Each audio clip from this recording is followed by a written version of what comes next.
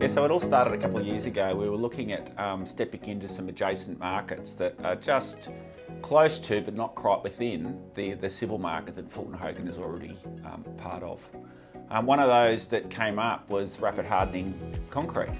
Um, primarily it's used in airports where uh, slabs need to be replaced but they've only got a short period of time to be able to shut down those taxiways. We looked worldwide for the right product for us to utilise. Um, we met with several different companies, but the one that stood out to us was Concretum. We found that it was just head and shoulders above the rest.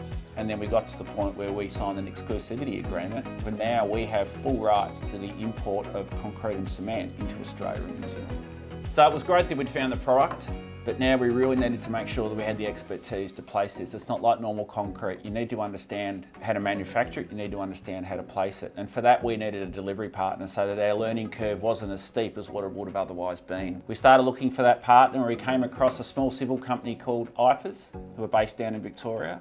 Eifers brings over 10 years experience in the supply and placement of high early strength concrete. Eifers has uh, one of the largest fleets of volumetric mixers and other specialised equipment.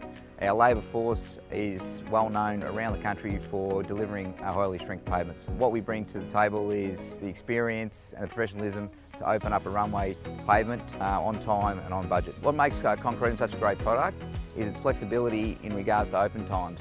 Depending on the project, we can actually tweak the mix to um, being able to give us the optimal working time to open a, a runway pavement and then close it in a particular time. Uh, we're, we're currently undertaking works on our first major contract. Uh, the works are going really well to a high standard. Melbourne Airport are very happy with the results. Um, and, and, post that, we're looking at further projects, both at Melbourne Airport, but also Sydney and Brisbane in particular, where we know that there's slabs that need to be replaced in the coming years.